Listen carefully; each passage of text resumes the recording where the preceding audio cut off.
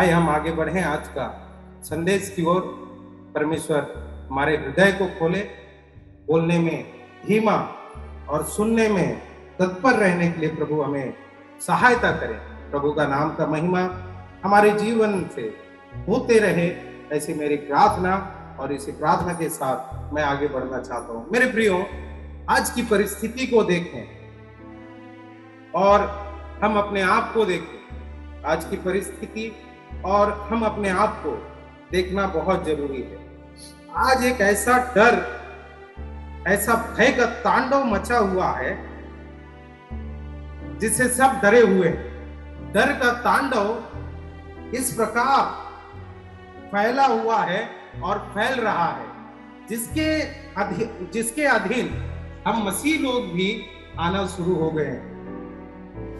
मौत से डर रहे हैं, मर जाएँगे। मेरा मेरा बीबी बच्चे का, पति का क्या होगा, परिवार का क्या होगा? मेरे मरने के बाद ऐसे डर हैं। कोरोना हो जाएगा, उसका डर है। बाहर निकले तो डर ही डर है।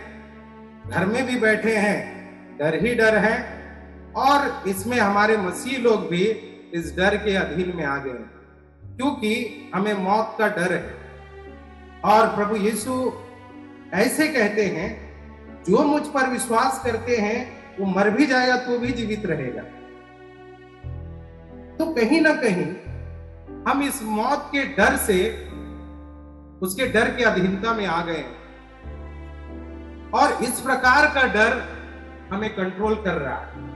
बहुत चीज़ों का डर है, लेकिन मैं खास कुछ डर के बारे में आपके सामने कुछ वचनों को रखना चाहता हूँ। प्रभु यीशु ने कहा डरो मत। सभी कहें डरो मत। और अपने पड़ोसी से भी कहें डरो मत। डरो मत मतलब डरो मत। इसका मतलब डरना नहीं है। लेकिन मैं जैसे कहा हम कुछ ना कुछ बातों में डरना शुरू कर दिए और इस डर के अधीन में आ गए हैं। लेकिन प्रभु हमें कहता है डरो मत। आइए एक वचन पढ़कर हम शुरुआत करें। मत्ती का किताब मत्ती रचित सुसमाचार चौदह अध्याय बाईस वचन से आगे वचन हम पढ़े तब उसने तुरंत अपने चेलों को नाव पर चढ़ने के लिए विवश किया कि वे उससे पहले पार चले जाए।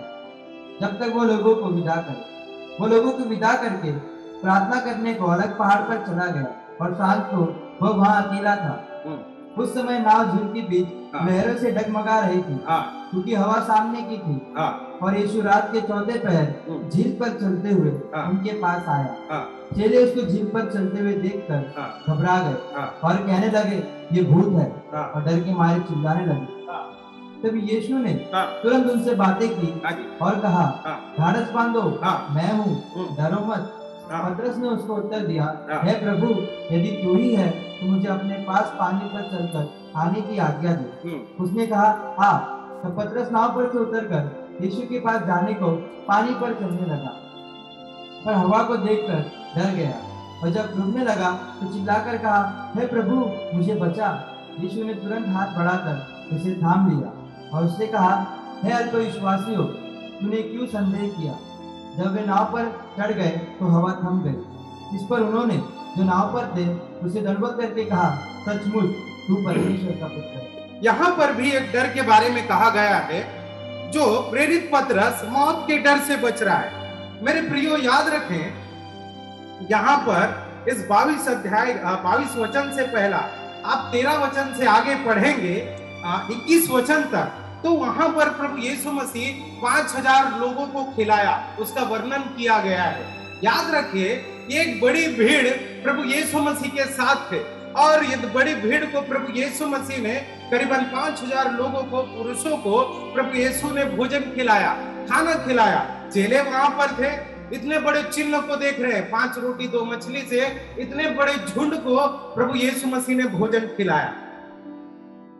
और प्रभु ने जो आश्चर्य कर्म देख किया, आश्चर्य काम किया, उस काम को सभी चेलों ने देखा और वहाँ पर इतने एक बड़ी जनसंख्या थी, उन सबने भी देखा। फिर उसके बाद चेले दूसरी जगह जा रहे हैं, झील में। और साथ में प्रभु यीशु मसीह उस वक्त नहीं है। चेले दूसरे और सुसमाचार में ऐसे लिखा है, चेले नाव में बैठे थे और वो झील के उस पार जा रहे हैं। खेते खेते लगभग चौथे पहर की बात है। चौथे पहर बोलेगा तो रात का सुबह तीन बजे से सुबह का छह बजे का बीच को चौथा पहर कहा जाता है। तो इस चौथे पहर के बीच में ये खेते खेते उस झील के बीच में पहुँच गए।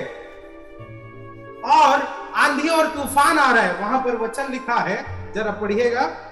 तेवीस वचन से वापस। वो लोगों को विदा करके। प्रभु यीशु मसीह लोगों को विदा करके प्रार्थना के लिए अलग पहाड़ पर चले गए और साँझ को वहाँ तक वहाँ अकेला था। ठीक है आगे चौबीस।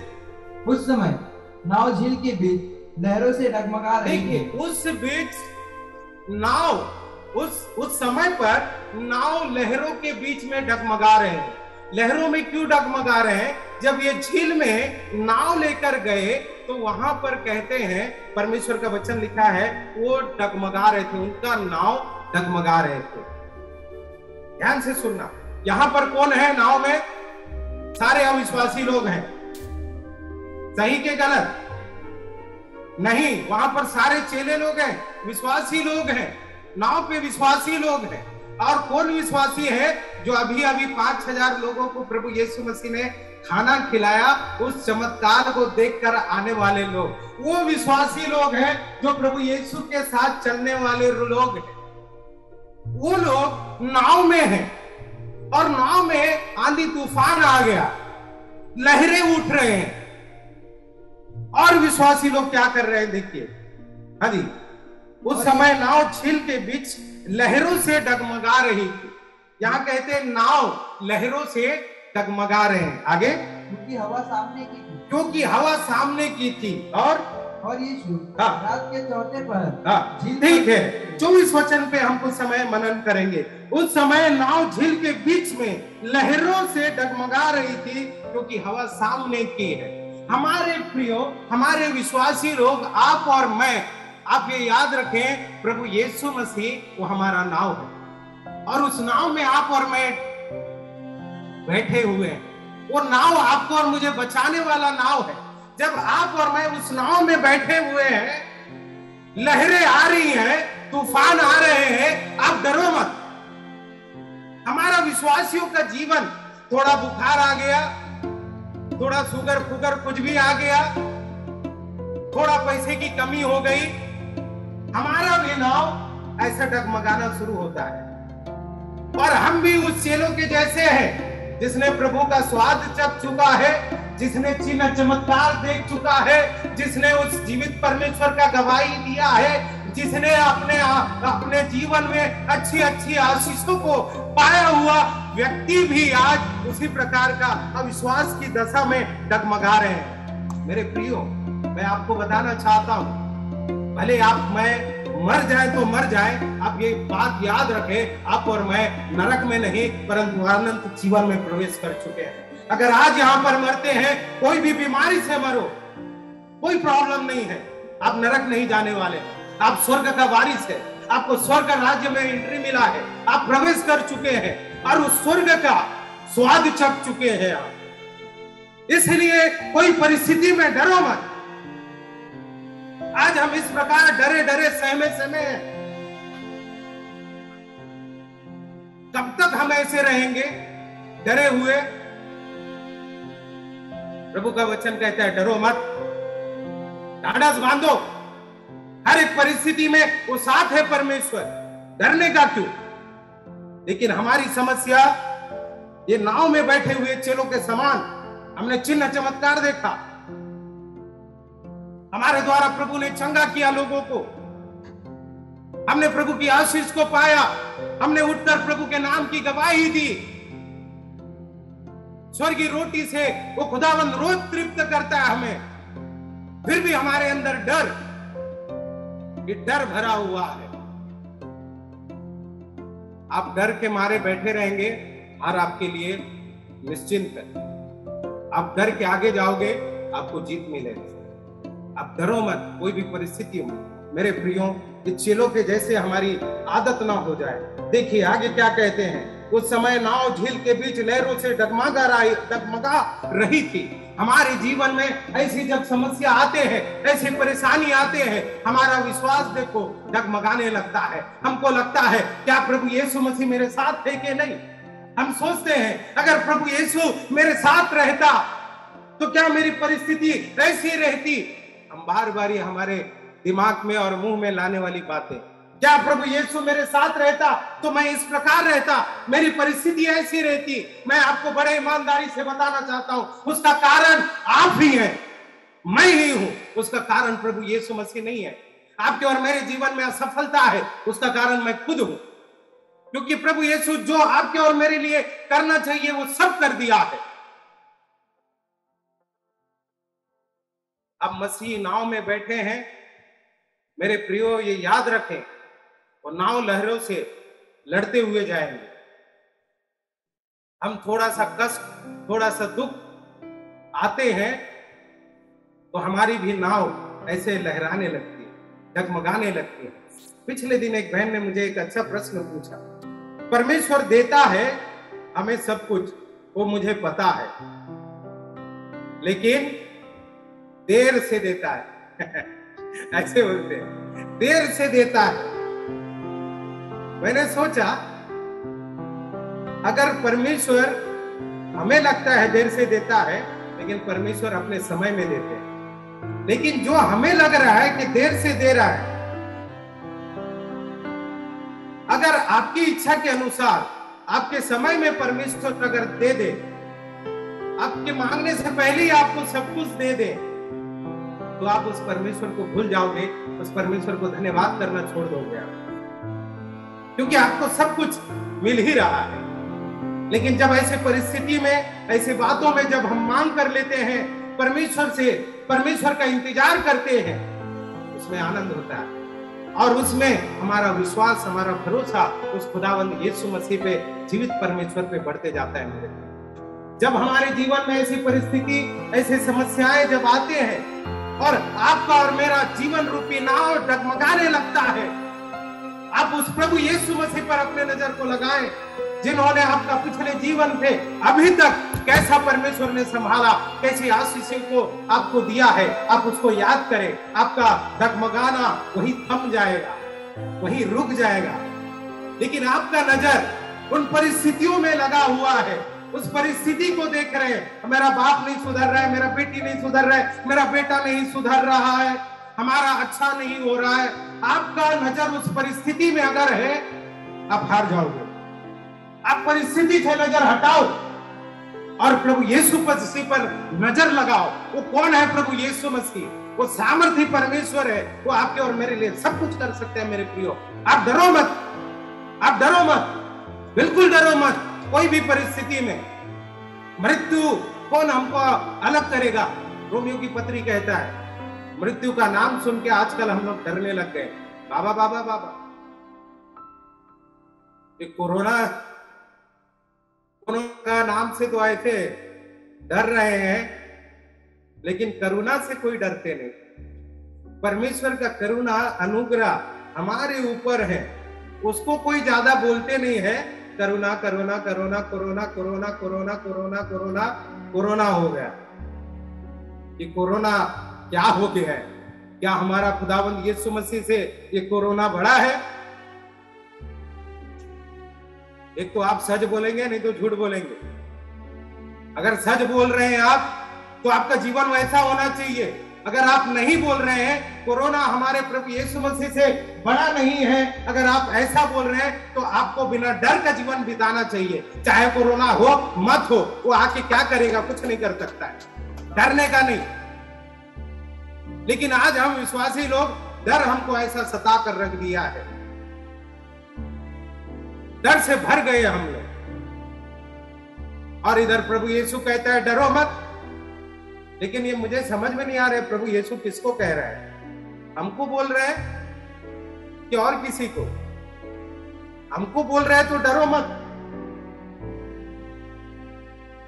हम इसको पढ़ते हैं, इस वचन को मानते हैं, बोलते हैं तो हमें इसके, इस वचन के अनुसार जीवन बिताना चाहिए। कब तक इस भय से हम जिएँगे? कोई अंत नहीं है क्या उसका? कोरोना से डरो मत। मैं बताता हूँ किससे डरना है। हाँ जी, आगे देखिए। आगे वचन जरा पढ़िए। और यीशु रात के चौथे पहर हाँ। झील पर चल, झील पर चलते हुए हाँ। उनके पास आया। हाँ। चेले उसको झील पर चलते हुए देखकर मेरे प्रियो ये बात आप याद रखो। प्रभु यीशु मसीह वहाँ पर चेलों के साथ नहीं है शारीरिक रूप से। आप ध्यान रखिए। प्रभु यीशु को पता है इनकी नाव डगमगा रही है। आपके और मेरे जीवन में जो ऐसी परिस्थिति आई है, डगमगा रहे आपका और मेरा जीवन रूपी नाव। तो ये याद रखे, प्रभु आपके नाव को देख रहा है। और देख ही नहीं रहा है, बल्कि वो आपकी ओर आ रहा है। वो आपकी ओर आ रहा है। प्रभु जानते हैं, चेलों के नाव झील के मध्य में डगमगा रहे हैं। प्रभु यीशु को मालूम है, वो आपको वैसे ही मरने के लिए वहाँ नहीं छोड़ेंगे। प्रभु यीशु चेलों को नाव पर मरने के लिए नहीं छोड़ा। नहीं छोड़ा उनको। परंतु प्रभु यीशु मसीह उनको बचाने के लिए उनकी ओर आ रहे हैं। हालेलुया। आप है मेरे साथ यहाँ पर। आपके जीवन में अगर परिस्थिति है, ऐसी समस्याएँ हैं, ऐसी बातें हैं, और आपका जीवन रूपी नाव आपको लग रहा है, डगमगा रहा है तो मेरे प्रियो, मैं आपको बताना चाहता हूँ, खुदावंद यीशु मसीह आपकी ओर बढ़ रहा है। वो आपकी ओर आ रहा है। वो आपको बचाने के लिए आ रहा है। वो आपके जीवन के आंधी और तूफ़ान को थमाने के लिए आ रहा है।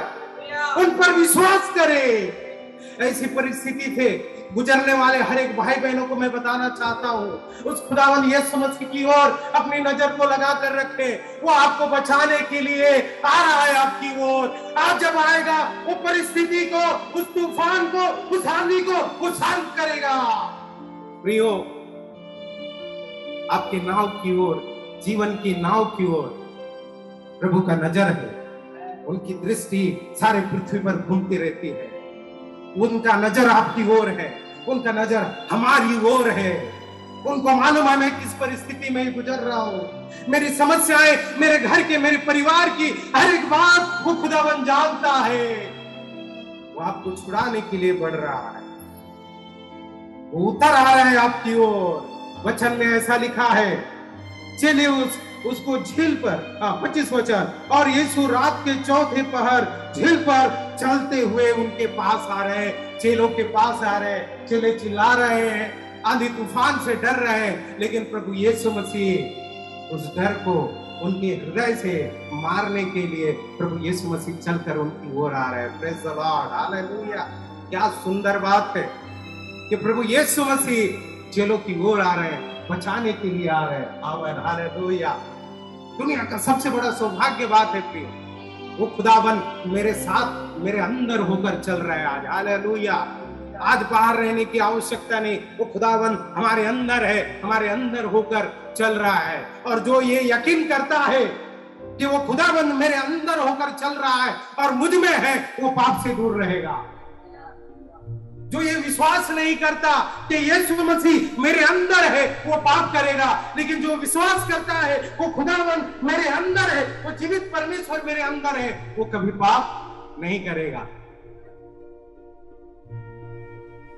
आप देखें, खुदावन यीशु मसीह आपके अंदर है और छब्बीस वचन आगे कहते हैं, चेले उसको झील पर चलते हुए देखकर घबरा गए।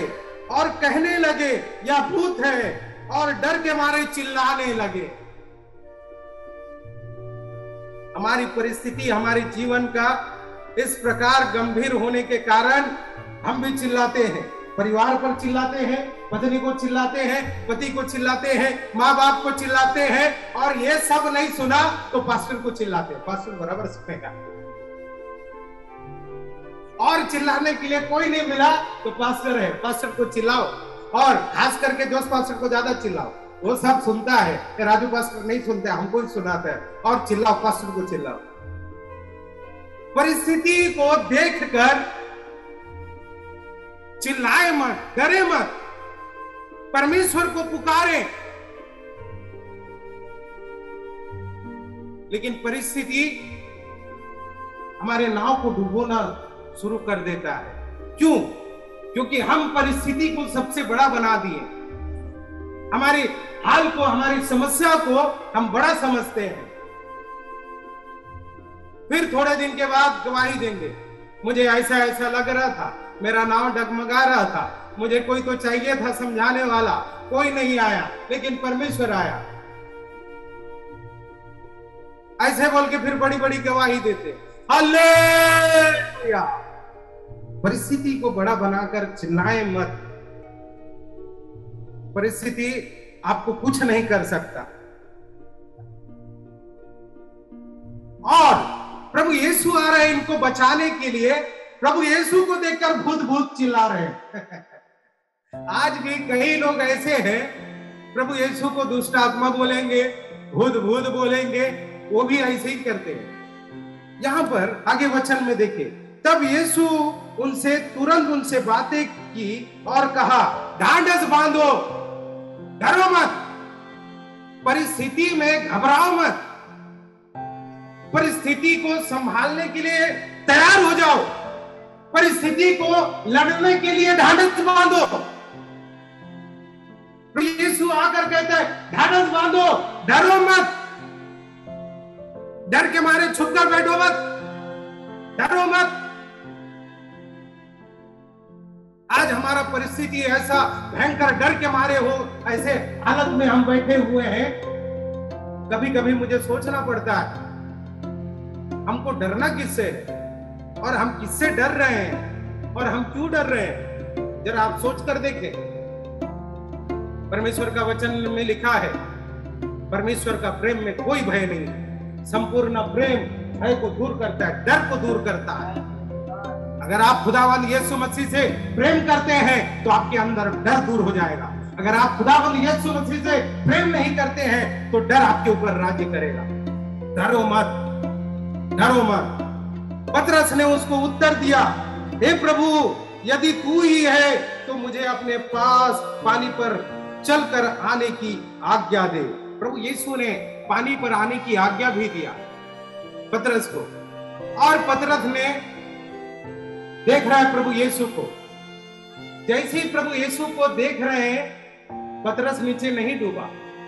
लेकिन पानी को जो समस्या है, उसको देख रहा है। अब आपको प्रभु यीशु को देखना है या आपकी समस्या को देखना है? आप अपनी समस्या को देखेंगे, आप डूब जाएँगे। समस्या कोई भी रहने दो, वो आपके पैरों के नीचे है, आपके ऊपर नहीं है, याद रखें। आपके ऊपर प्रभु यीशु मसीह है। समस्या आपके नीचे है। आप समस्या को देखो मत। आप प्रभु यीशु को देखें। वो समस्या आग रहने दो, वो समस्या पानी रहने दो, वो समस्या आपके घर की कोई परिस्थिति रहने दो। आप उधर देखेंगे, वो आपको डुबाएगा। लेकिन अगर आप खुदा यीशु मसीह की ओर देख रहे हैं, वो आपको उस समस्या से बाहर निकालेगा। हालेलुया। अगर आप ये आपके ऊपर है। कोई पास्टर आपको नहीं बोल सकते। अब कोई पास्टर आपका विश्वास को बढ़ा सकते हैं। मेरे प्रियो, ये याद रखें। आपको समस्या को देखें या प्रभु यीशु को देखें। आप समस्या को देखें, आप डूबते जाएँगे। आप प्रभु यीशु को देखो, आप आगे आगे बढ़ते जाओगे। उस समस्या से निकलते जाओगे। आगे देखिए। उसने कहा तब पतरस नाव पर से उतरकर यीशु के पास जाने को पानी पर चलने लगा।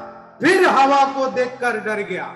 फिर बोलेगा तो उसने पहले भी देखकर डरा, अब भी देखकर डर रहा है। फिर हवा को देखकर डर गया।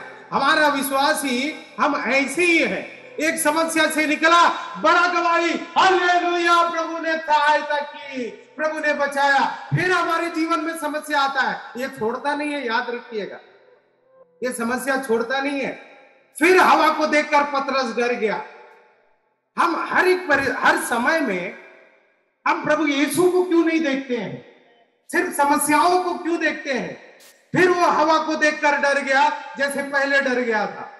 अभी कुछ ही समय का बात है। उधर मुझे लगता है घंटा भी नहीं बीता रहेगा। कुछ ही समय का बात ही है। फिर वो हवा को देखकर डर गया। यहाँ वचन में ऐसे लिखता है। फिर, और जब डूबने लगा तो चिल्लाकर कहा, हमारी परिस्थिति मुझे बराबर लगता है।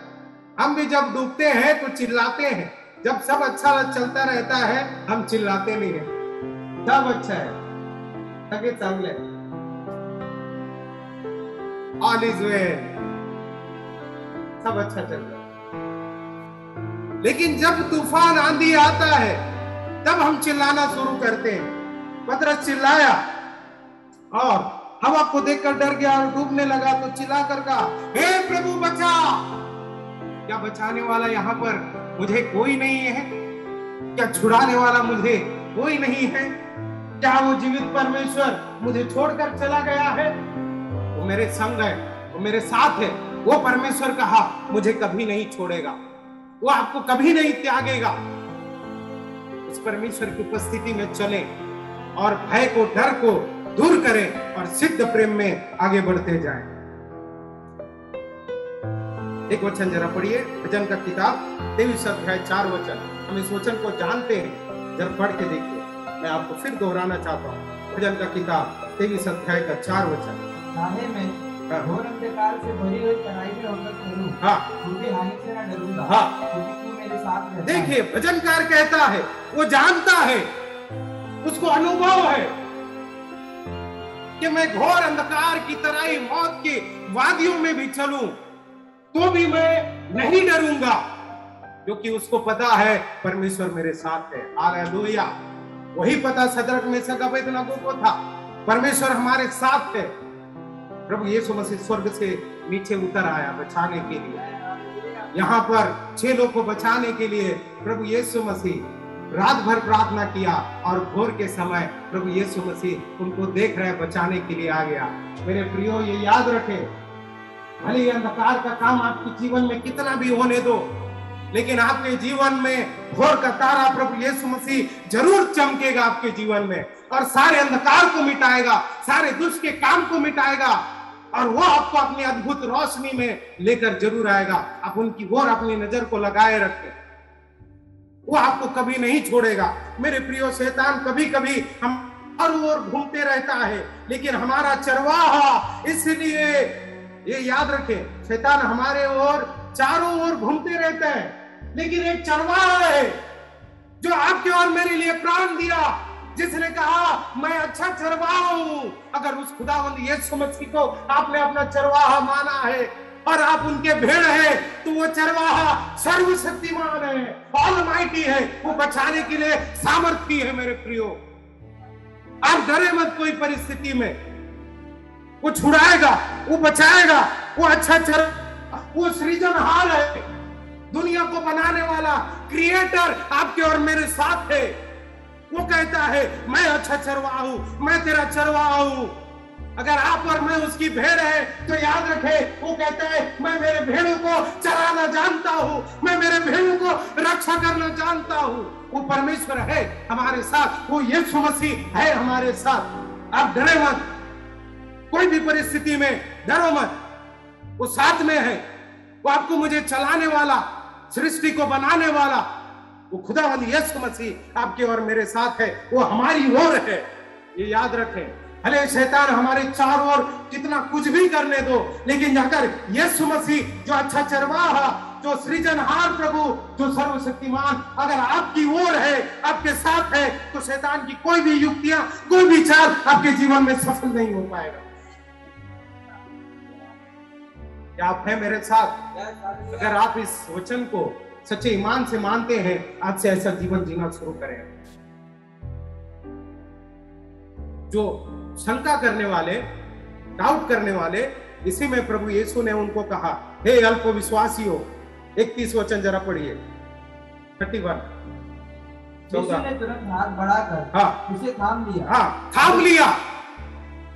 थाम लिया कह रहे हैं। प्रभु यीशु हर एक परिस्थितियों में आपको और मुझे थाम लेगा। हालेलुया। हर एक परिस्थिति में थामेगा वो। और और उससे कहा हाँ। हे अल्प विश्वास हे। अल्प विश्वासियों तूने क्यों संदेह किया? क्यों संदेह किया?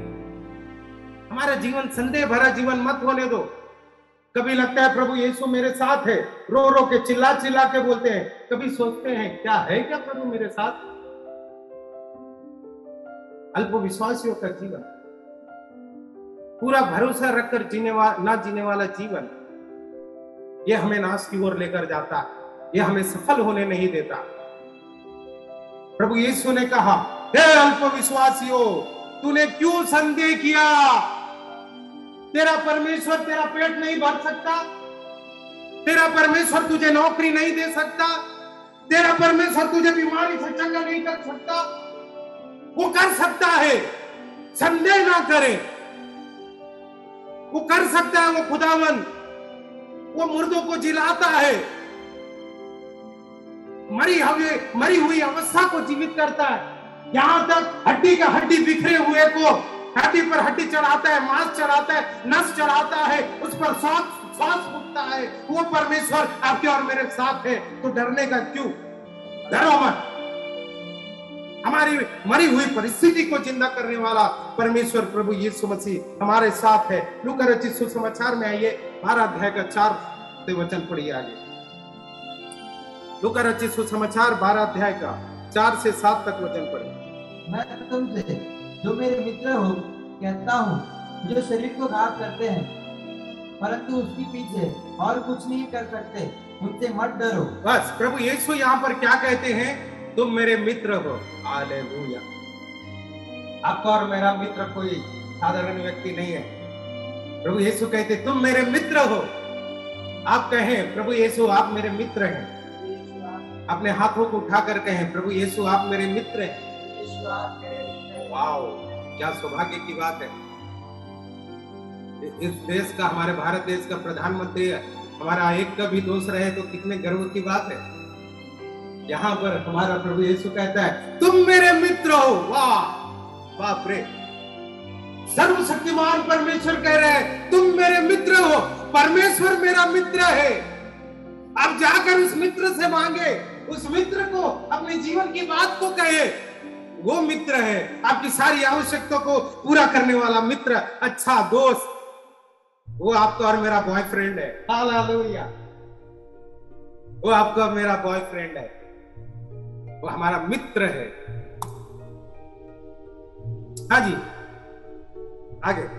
मैं तुम्हें चिताता हूँ हाँ। कि तुम्हें किससे डरना चाहिए? मैं तुम्हें बताता हूँ किससे डरना चाहिए।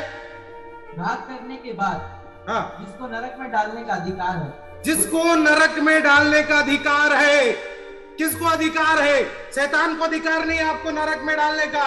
नरक में डालने का एक ही एक है जिसको अधिकार है वो है सर्वशक्तिमान परमेश्वर प्रभु यीशु मसीह। आप उससे ही डरो। आप उससे डरो। यही बुद्धि और ज्ञान है। परमेश्वर का भय बुद्धि का आरंभ है।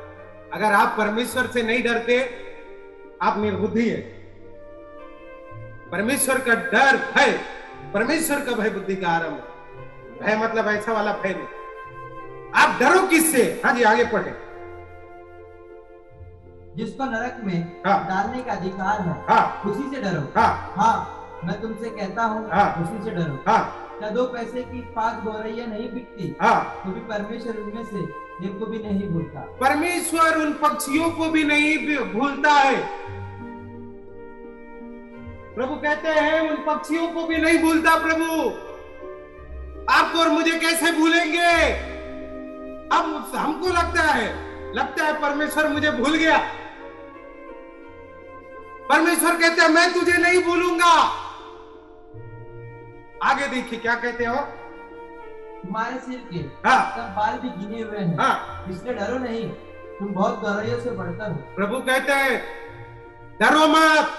तुम्हारे सिर के बाल मैंने गिन के रखा है। तुम्हारा मूल्य पक्षियों से क्या बड़ा नहीं है?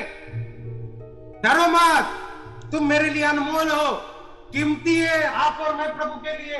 ये याद रखें दुनिया के नज़र में आपका और मेरा कोई कीमत चाहने का रहे मत रहे। लेकिन वो दुनिया को बनाने वाला प्रभु कहता है, तुम मेरे लिए कीमती हो। कहे अपना ज़ुबान खोलकर कहे प्रभु को, मैं प्रभु के लिए कीमती हूँ। आप और मैं प्रभु के लिए सच में कीमती हैं। बहुमूल्य है। योना चौदह एक में कहा, प्रभु, तुम्हारा मन व्याकुल ना हो, डरो मत। व्याकुल ना हो जाने दे तुम्हारा मन। आज व्याकुल मन वाले बहुत है। एक दूसरे से भी व्याकुल है, पास्टर से भी व्याकुल है, विश्वासी एक दूसरे से व्याकुल है, बॉस उनके नौकर से व्याकुल है, नौकर उनके बॉस से व्याकुल है, मालिक से सब व्याकुल है एक दूसरे से। व्याकुल भरा जीवन बिता रहे हैं। प्रभु कहते हैं, तुम्हारा मन व्याकुल ना हो, डरो मत। मैं हूँ, मैं संग हूँ रोमियो के आठ का पंद्रह पढ़िए। रोमियो का पत्री आठ अध्याय का पंद्रह वचन। क्योंकि तुमको हाँ। दासत्व की आत्मा नहीं मिली हाँ। कि फिर भयभीत हो। हाँ। परंतु ले बालकपन की आत्मा मिली है। हाँ। जिससे हम हे अप्पा मैं पिता कर कर पुकारते हैं। परमेश्वर का वचन कलाम में क्या लिखा है? तुम्हें दासत्व की आत्मा नहीं मिली है। यहाँ पर बहुत बड़ी बातें कह रहे हैं। आप और मैं एक साधारण व्यक्ति नहीं है। वचन को पढ़िए वापस पढ़िए जरा ध्यान दीजिए। क्योंकि तुमको हाँ। दासत्व की आत्मा नहीं तुमको दासत्व की आत्मा नहीं मिली है। कि फिर भयभीत हो। कि फिर भयभीत हो डर जाओ। आपको और मुझे गुलामी की दासत्व की आत्मा नहीं मिली है कि आप और मैं डरे। आज लोग मार रहे हैं विश्वासियों को। घर घर घर जाकर हमला कर रहे हैं। लेकिन हमारे विश्वासी लोग किसी इंसान से डरने वाले नहीं हैं। हम उनका सामना नहीं करते, हम उनसे लड़ते नहीं। लेकिन ये बताना चाहूँगा कि कोई भी परमेश्वर का बेटा किसी व्यक्ति से डरता नहीं, जो शरीर को नाश कर सकता है, उससे नहीं डरते। हम डरने वाला सिर्फ़ और सिर्फ़ उस जीवित परमेश्वर से डरते हैं। ऐसा जीवन बिताओ, जो शांत से हो, मसीह का रोशनी चमकने वाला जीवन हो मसीह का सुगंध हमारे अंदर से इत्र के समान फैलने वाला जीवन हो, ऐसा जीवन जिए। इसके लिए आपको और मुझे प्रभु ने बुलाया है, क्योंकि आप और मैं परमेश्वर के संतान हैं, उनके बेटे और बेटी हैं, हमारा कार्य है उनके गुणों को प्रकट करें, उनको उनके सुगंध को फैलाएँ। आपको और मुझे इसके लिए बुलाया गया है। आपको और मुझको लेपालक की आत्मा दी गई है। हम परमेश्वर के घराने के लोग हैं। दूसरा तिमुथी एक का साथ में ऐसा लिखा है, परमेश्वर ने हमें भय का आत्मा नहीं दिया, डर का आत्मा नहीं दिया, परंतु प्रेम और शांति का आत्मा परमेश्वर हमें दिया है। अगर किसी प्रकार की आत्मा आपके अंदर है, मेरे प्रियो, आप याद रखें, आप पवित्र आत्मा के अधीनता में जीवन नहीं बिता रहे हैं। आप रात को किसी बात को देखकर भयभीत हो रहे हैं। आप किसी और आत्मा के अधीन हैं। परमेश्वर का भय में परमेश्वर का प्रेम में वो डर नहीं है इस संसार का याद रखो।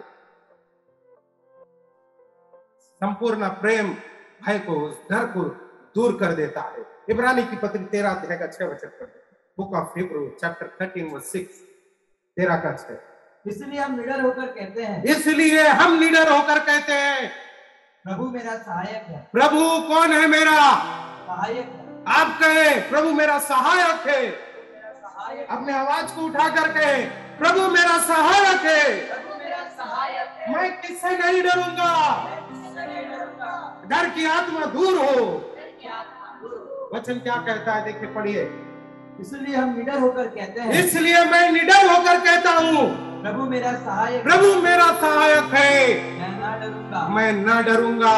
मनुष्य मेरा क्या कर सकता मनुष्य मेरा क्या कर सकता है? मैं किससे डरूं? मैं क्यों डरूं? पिछले दिन एक वीडियो में देखा दो चार व्यक्ति लोग प्रार्थना चल रहे हैं उधर घुस के पूछ रहे हैं तेरा आधार कार्ड दिखा तेरा वो दिखा तेरे बाप ने तुझे अधिकार दिया है? जाके पूछने का। और हमारे विश्वासी लोग भी चुपचाप आधार कार्ड दिखा रहा है। बोल रहा है, मेरा नाम जॉन है। आधार कार्ड दिखा, तेरा नाम जॉन है? तू किधर का सीबीआई वाला है? तू मेरे जगह पे बिना पूछे, मेरे बिना परमिशन, इजाज़त, तू मेरे घर पे, मेरे जगह पर घुस के आके मुझे पूछ रहा है, तेरा आधार कार्ड दिखा, तेरा नाम जॉन है, तेरा नाम मार्था है, तेरा नाम मोजेस है, तेरा नाम पीटर है, तेरा नाम डिकोस्टा है, तेरा नाम अल्बर्ट है, तुझे क्यों दिखाएगा? मनुष्य से क्यों डरते हैं? क्यों डरने का ज़रूरत है? मैं नहीं बोलता उसको पकड़ के एक डंडा उसके सर पे मार दो। नहीं बोल रहा हूँ। मैं मारने के लिए नहीं बोल रहा हूँ। मैं डरो मत बोल रहा हूँ। क्यों डरने का? मेरा सहायक प्रभु यीशु मसीह है। क्यों डरेगा? तुझे क्या करना है? करो। पुलिस लेके आओ। जेल में डाल दो। क्या करेंगे ज़्यादा से ज़्यादा? उधर नहीं है ना? कुछ सजा हो जाएगा, उतना ही है ना? फांसी हो जाएगा, उतना ही है ना? और क्या है? कुछ है उसके आगे और? फिर भी डरते हैं। क्यों? क्योंकि हमारे अंदर ये दुनिया की डर, ये दुनिया की आत्मा घुस गया है। इसलिए हम डरते रहते हर बात में। अभी मेरा क्या होगा? आता माझं काय होईल? आता माझं काय होईल? मारा परिवाराचं काय होईल? काय होईल? यही डर में हम बैठे रहते और जो होईल, ते वो देखने वाला परमेश्वर हमारे संग है। वो कहता है, डरो मत, मनुष्य क्या कर सकता है? आपका और मेरा, जो हम उनका डर और भय में जीवन बिता रहे हैं, जिस परमेश्वर को डरना चाहिए, उसको डरेंगे नहीं। जिस परमेश्वर का भय खाना चाहिए, उसको नहीं भय खाएँगे, और जिनको नहीं डरना चाहिए, उसको डरते कभी कभी पुलिस वाले को देख के पतली कभी हम चले जाते हैं। मैंने एक चीज़ देखा है। जरा ध्यान से सुनिएगा। एक चीज़ मैंने बराबर देखा है। कितना बड़ा अकड़ू रहने दो वो एक जगह जाकर बराबर डरता हैं और उसका स्वभाव उधर जाकर बदल जाता है। किधर मालूम है? पुलिस स्टेशन में। दुनिया का सबसे नम्र व्यक्ति आपको किधर मिलेगा तो पुलिस स्टेशन में मिलेगा। सारे व्यक्ति उधर जाके नम्र हो जाते हैं। अच्छा वो हमारा एक पुलिस पुलिस इंस्पेक्टर यहाँ बैठे हुए रिटायर। मोनिका का पप्पा। उनको अनुभव होगा। बड़े से बड़े गुंडे जो अपने को तुर्रम खान समझते हैं, वो जैसे ही पुलिस स्टेशन गए तो उनके जैसा नम्र व्यक्ति कोई नहीं दिखेगा। पत्नी को रात भर पिटा रहेगा घर पे, लेकिन जैसे ही पुलिस स्टेशन पहुंचेगा, पति को देखकर पत्नी को बोलेगा ये पत्नी, बहुत खड़ूस लग रहा है। इतना हम्बल इतना नम्र पति हो जाएगा, पुलिस वाले को भी डाउट होएगा। पत्नी ने पति को मारा या पति ने पत्नी को मारा? इतने नम्र, इतना अच्छा बोलेंगे इतने अच्छे शब्दों का प्रयोग करेंगे उस जगह पर। मैंने देखा है, मेरे रिश्तेदार ही उनके लिए मैं गया था पुलिस स्टेशन मेरे नज़दीक का है। उधर जाके बोलते कितना अच्छा आदमी है। मैं मन में बोला हाँ बुरा तो हम ही है। जो इसको मारा नहीं, बुरा हम ही है। सारे उधर पुलिस स्टेशन में जाके नम्र हो जाते हैं। लेकिन परमेश्वर के पास आएँगे सब टाइट से। आ है ना देख लेगा। क्या किधर का प्रधानमंत्री क्या करेगा मेरा? प्रभु के लोगों को मिलते हैं, बड़ी नम्रताई से मिले। प्रभु के साथ जीवन बिता रहे हैं, बड़ी नम्रताई से जीवन बिताइए। नम्रता एक बहुत बड़ा धरोहर है,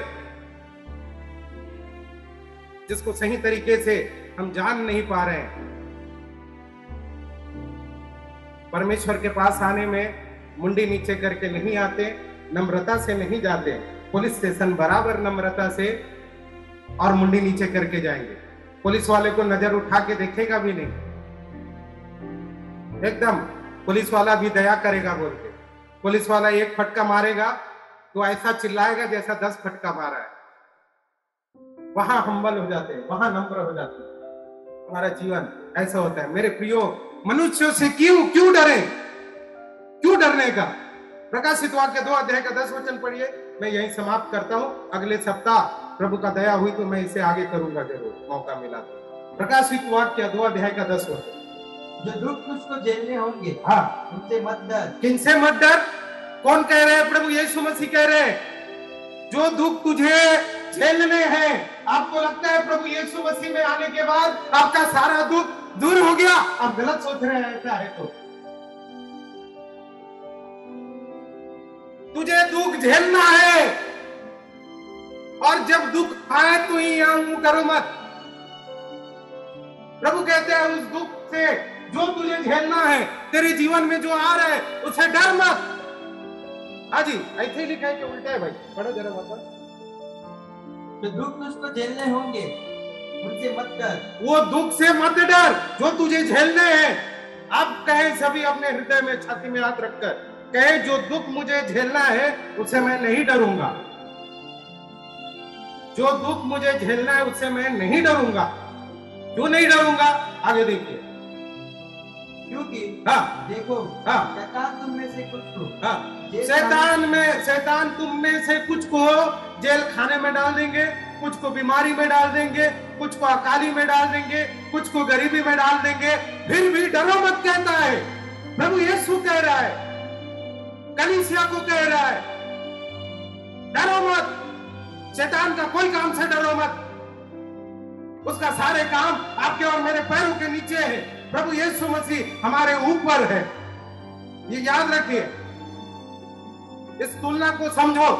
शैतान को खोपड़ी पर मत बैठाओ। शैतान शैतान शैतान बोल के दिन भर प्रभु यीशु का नाम ले, वचन पढ़े, प्रार्थना करे, वो शैतान के काम आपसे दूर रहेगा। अब हम वचन नहीं पढ़ते, हम प्रार्थना नहीं करते, इसलिए शैतान हमारे संग होकर घूमता है और कहता है।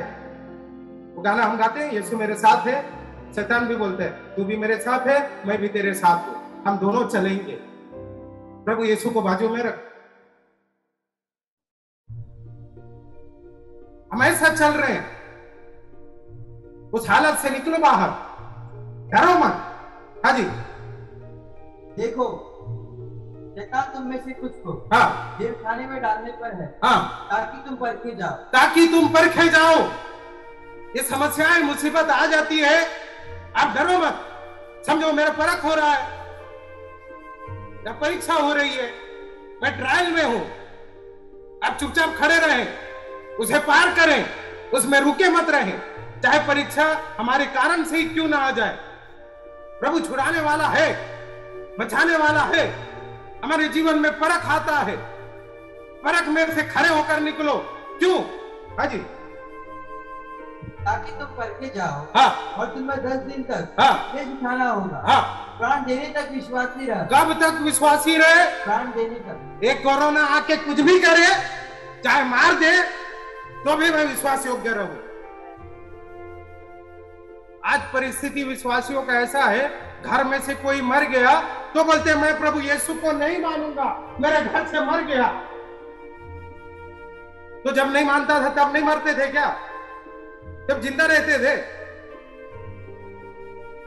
मेरे घर से मर गया, मैं नहीं मानूँगा, मत मानना, हमारे पास तो कुछ जाता है क्या? तू ही नरक में जाएगा। मैं नहीं मानूँगा। अरे भाई, अब तुम्हारा पैर धो के बोलने का मैं नहीं मानूँगा। मैं प्रार्थना में नहीं आऊँगा। मुझे इसका खोपड़ा अच्छा नहीं लगता। मुझे ये अच्छा नहीं, मुझे वो अच्छा नहीं, मुझे ये अच्छा नहीं। ये क्या भाजी लेने गए? गाजर मूली ले रहे हैं आप लोग? ये अच्छा नहीं, वो अच्छा नहीं। अभी से ये बात अंदर से हमारे निकला ही नहीं है। इजरायली मिस्र से निकल के आए। लेकिन मिस्र की बातें इसराइलियों के अंदर से नहीं निकली। हम भी मिस्र से छुट के आते हैं।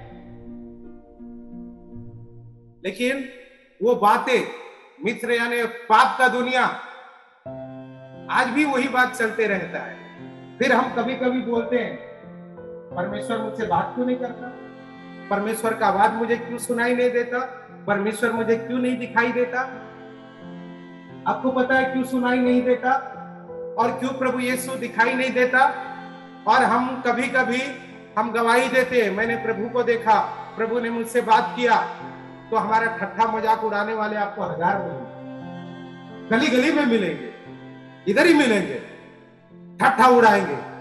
क्या प्रभु ने बात किया, ठट्ठा उड़ाएँगे। प्रभु को कोई भी देख लिया, बोले, प्रभु को देख लिया, तेरा जीवन ऐसा है। क्या पतरस ने प्रभु को नहीं देखा था? क्या चेलों ने प्रभु यीशु को नहीं देखा था? उनके साथ छुआ खाया, पिया, नहाया, सब कुछ किया। फिर भी उनके जीवन में थी कि नहीं समस्याएँ? तो आज ऐसी बातों को मज़ाक बनाकर रखा लेकिन मैं आपको बताना चाहता हूँ, लोग प्रभु को क्यों नहीं देख पाते? तुम ढूंढो पाओगे कहा? क्या परमेश्वर का वचन झूठा है? नहीं है। पुकारो, मैं आऊँगा कहा? क्या परमेश्वर का वचन झूठ बोल रहा है? बिल्कुल नहीं बोल रहे आज आप और मैं, प्रभु कहता है, तू पुकार, मैं तेरी वाणी को सुनूँगा। परमेश्वर इज़राइल की वाणी को सुनकर उनको छुड़ाने के लिए आ गया। परमेश्वर अब्राहम से जब बात करता था अब्राहम परमेश्वर की वाणी को सुनता था। प्रति भोर को जाकर खड़ा होता था। आज मुझसे सुबह परमेश्वर बात करेगा। परमेश्वर आता था, बात करता था। अब्राहम परमेश्वर की आवाज़ को सुनता था। बाइबल में नहीं लिखा है क्या? परमेश्वर की आवाज़ को सुना? लिखा है। मूसा आमने सामने परमेश्वर को देख के बात करता था। बाइबल में लिखा है कि नहीं लिखा है? तो आज आप और मैं क्यों नहीं देखते? क्यों परमेश्वर की वाणी को नहीं सुन पाते, इसका कारण है, ये दुनिया की बातें इस कान में घुसी हुई है। इसलिए परमेश्वर की बातें जो आ रही है, कान नहीं समझ पाता है। समस्या यही है, आप और मैं परमेश्वर की वाणी को क्यों नहीं सुन पाते? क्योंकि दुनिया की वाणी, दुनिया की आवाज़ दुनिया की गाने, दुनिया की बातें, दुनिया की चुगली हमारे कान में घुसा है और वो गंदे मैल की तरह जाम करके रख दिया हमारे कान को। इसलिए परमेश्वर का वाणी हमारे कान में नहीं आ रहा है। इसका कारण ये, आप परमेश्वर की वाणी सुनो। पिछले दिन एक भाई घर पे आया मेरे। प्रभु पर विश्वास नहीं करता। आकर मुझे बोलता है, भैया, ये दिन भर मेरे कान में एक ही गाना बजते रहता है। मैं कहा, कौन सा भाई? तो प्रभु यीशु का एक गाना, एक बहन ने गाई है, वही गाना दिन रात मेरे कान में गूंजते रहता है। ऐसा क्यों? क्योंकि वो प्रभु की वाणी को उस गीत को सुन रहा है, जो वचन के अनुसार बनाया गया है। उस गीत को, उस वाणी को बार बार सुन रहा है, इसलिए उसका कान उससे भर गया है। अगर आप और मैं इस दुनिया की बातों को, इस दुनिया की कहानी को, दुनिया के गीतों को सुन रहे हैं आपका और मेरा कान जाम हो गया है। आप परमेश्वर की वाणी को नहीं सुन पाएँगे। लेकिन आप परमेश्वर के वचन को सुन रहे हैं, परमेश्वर के गीतों को सुन रहे हैं। आप परमेश्वर पर मनन लगा रहे हैं, वचन पर अध्ययन कर रहे हैं। आपका कान तैयार है कि परमेश्वर की वाणी को सुनने के लिए। आप तब परमेश्वर की वाणी को सुन पाएँगे। दूसरी बात, आप और मैं परमेश्वर के, परमेश्वर को हम देख क्यों नहीं पाते हैं? कोई आकर गवाही देगा उसका मज़ाक उड़ाने के लिए हम नंबर वन है। क्यों पवित्र आत्मा के विरुद्ध बोलने का तुझे अधिकार कौन दिया? तुझे नहीं समझ में आता है? चुपचाप रहे। बाइबल में लिखा है, पवित्र आत्मा के विरुद्ध जो बोलेगा, उसका पाप क्षमा नहीं किया जाएगा। ये लोगों को डर क्यों नहीं लगता है? सब बता के बोले, पवित्र आत्मा बोला, पवित्र आत्मा बोला, पवित्र आत्मा पवित्र आत्मा। नहीं बोला रहेगा, फिर भी पवित्र आत्मा को बोलेगा। उसके विरुद्ध बात करेंगे पवित्र आत्मा का विरुद्ध ये अपराध क्षमा नहीं की जाएँगे मेरे प्रिय। दूसरी बात, आप और मैं प्रभु को देख क्यों नहीं पाते? अयुब ने देखा, दाऊद ने देखा, अब्राहम ने देखा, याकूब लड़ा के देखा, पौलुस देखा, योहन्ना देखा देखा देखा कि नहीं प्रभु यीशु को?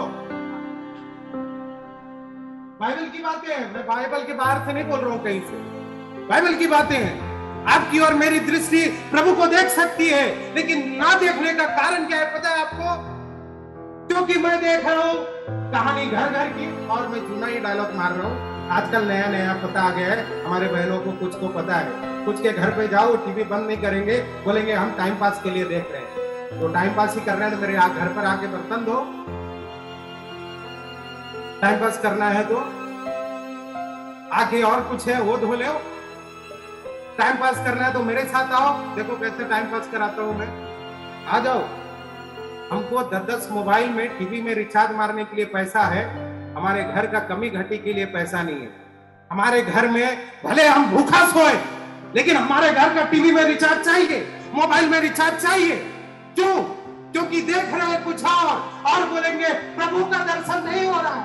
हर दिन भर तारक मेहता देखते रहेंगे, दिन भर सीरियल देखते रहेंगे, दिन भर कुछ ना कुछ करते रहेंगे, और आप आशा रखते हैं, प्रभु मुझे दर्शन दे। वाह वाह वाह वाह वाह, इतना पवित्र आपको ये आँख से प्रभु को देखना चाहते हैं? एलिया ने देखा एलिसा ने देखा, परमेश्वर के सामर्थ को देखा। अगर आप दुनिया की चीज़ों को देख रहे हैं, दुनिया की बातों को देख रहे हैं, आपको प्रभु का दर्शन बिल्कुल नहीं होगा। दाऊद भजन इक्यावन में कहता है, फिर आपको क्या देखेगा? जरा पढ़िए।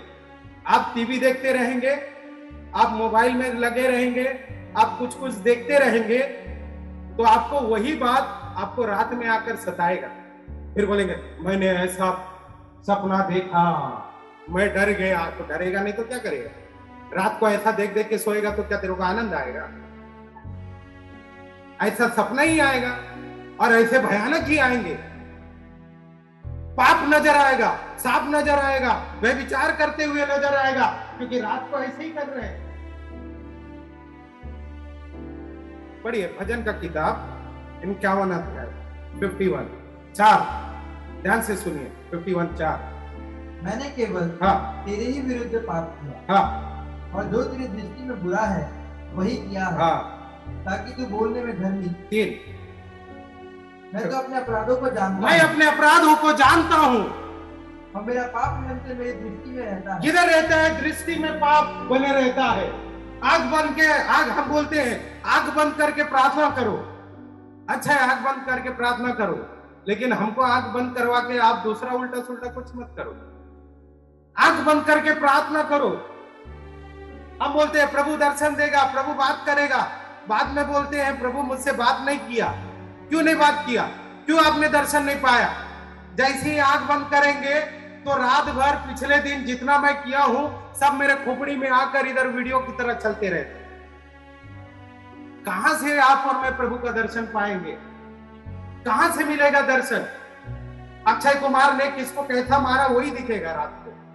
तारक मेहता ने बबीता को कैसे छेड़ा वही दिखेगा रात को। हाँ तारक मेहता, क्या नाम है?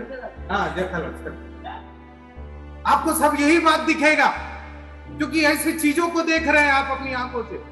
सास बहू का सीरियल देखेंगे, ये कैसा रिश्ता है, क्या क्या रिश्ता है, वो सब देखेंगे, परमेश्वर के साथ का रिश्ता को छोड़ के बाकी सारे रिश्ता को हम देखते हैं। अच्छा है, देखते रहो।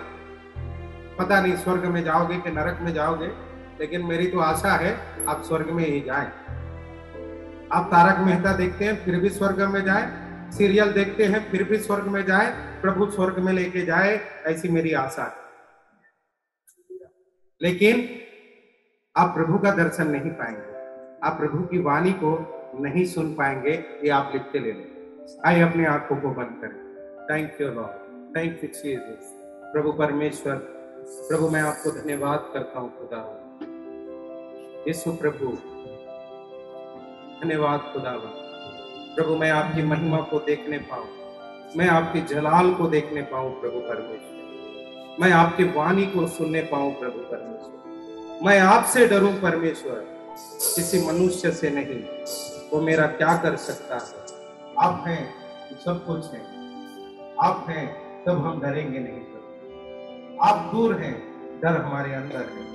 लेकिन आप संग हैं आप साथ हैं तो डर हमसे दूर है आपको मैं धन्यवाद करता हूँ प्रभु, क्योंकि आप हमारे संग हैं।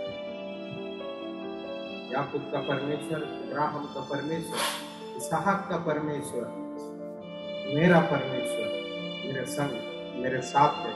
मैं क्यों डरूं? मैं क्यों भय खाऊं? Thank you